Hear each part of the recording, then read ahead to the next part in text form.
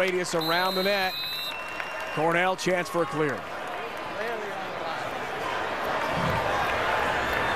Check in with the Coke Zero game track. No big differential in the faceoffs. Cornell save percentage significantly better. Virginia way below par in terms of shots. That shot, la, score, Cornell. It's all going well for the Big Red. Cornell and the upset effort today?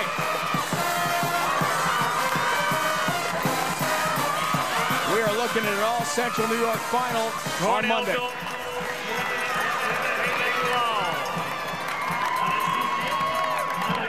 David Lau, the sophomore from Cold Spring Harbor, up on the island. You see the pressure. Romero draws two.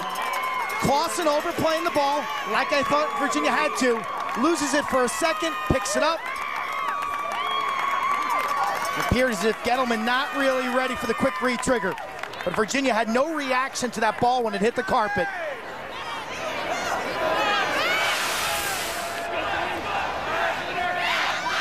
Dad Georgia, two-time champion for the Cornell lacrosse team in the 70s. Was on that last title team in 77. Session!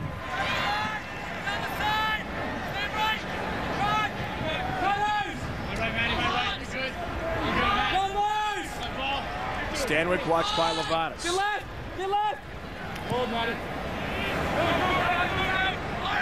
Carroll cranks the big shot right into the goal stick of Myers again. Almost like he knows where the Cavaliers are going to shoot. He's been sharp in the playoffs. Myers against Hofstra. Talking to Seth Tierney, Hofstra's coach, said we made him look like an All-American. Last week against Princeton, he was terrific as well.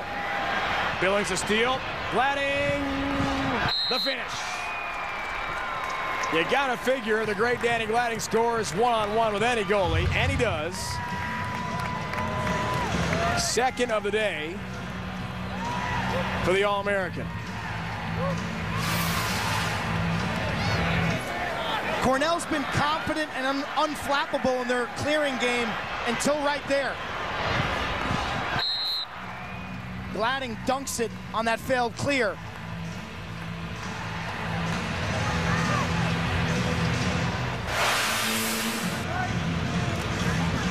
We, we can't Here we go. Here we go. Down.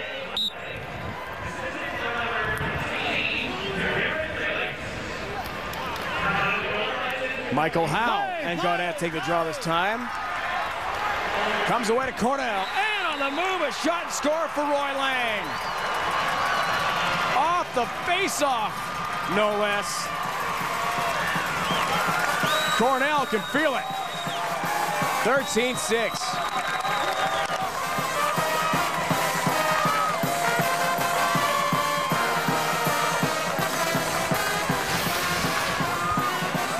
I'm not sure Virginia's defense has made a good decision all day. Roy Lang, the freshman from St. Ignatius in